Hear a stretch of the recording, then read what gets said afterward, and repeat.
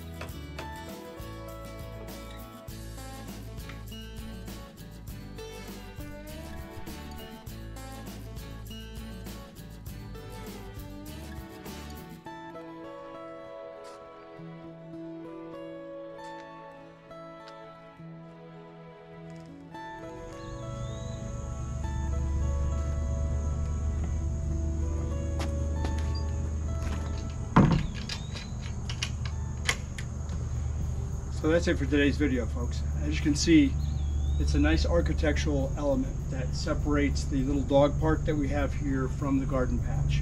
Um, we enjoyed building it. My wife painted a really bright pink and that really sets it off, which we really think is cool. Um, and it uh, protects the garden from the dogs. We now have to finish the fence around the uh, garden over here, but that's another video. Hope you liked it. Stop back and see us. Give us a thumbs up. Subscribe to the channel if you get a chance. God bless you till next time we see you. Thanks for visiting us here at the Clear Creek Cabin Mini Farm. Take care.